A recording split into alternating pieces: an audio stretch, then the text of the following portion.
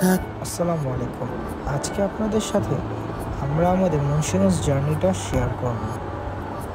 একার কাঁদবো না তোকে নিয়ে আর ভাববো না। আমি থাকব আমার মতোই আসব যতই। আমরা রাত্র সাড়ে নটার দিকে পৌঁছানোর পর বৃষ্টির জন্য আমাদের সমস্ত প্ল্যান ঠিক ছিল না যদিও হুট করে আমাদের প্ল্যানটা হয়েছে। তাই ভাবলাম বারবিকিউ করা যায়। তো আলেক ভাই সব কিছু রেডি করছেন আমাদের।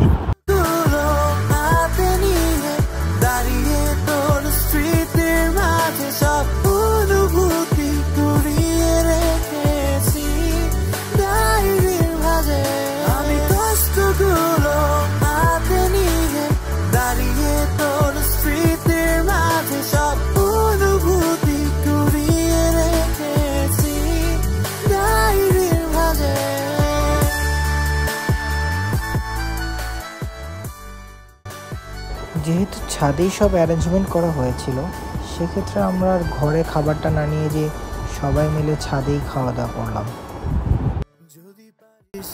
এরপর আমরা দুপুরের দিকে সবাই আমাদের বাড়ির পাশে যে নদী ছিল, সেই নদীতে গোসল করতে চাই।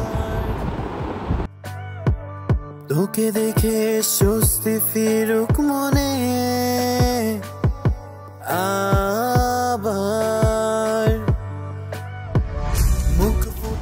এরপর সেখানে আবার বৃষ্টি শুরু হয়ে যায়, যার কারণে আমাদের ঢাকায় ব্যাক করতে হয়। তো এই ছিল আমাদের মুন্সীগঞ্জের একদিনের শর্ট থ্যাংক ইউ